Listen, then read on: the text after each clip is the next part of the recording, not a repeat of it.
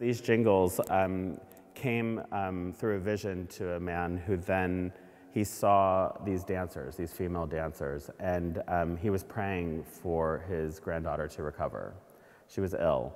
And um, so he, when he woke, the story is, is that he asked his wife to make these dresses, and then women wore them and danced around his daughter, and she was healed. So there's that context. My interest in it also is that the original jingle would have been the lids of tobacco and snuff containers. So something that would have been discarded, someone taking it and finding a way to turn it completely into something else with a completely different purpose is amazing to me. And you see that in everything that's in here. And I think a lot of viewers don't realize that when you're looking at historical objects, you're looking at a global map.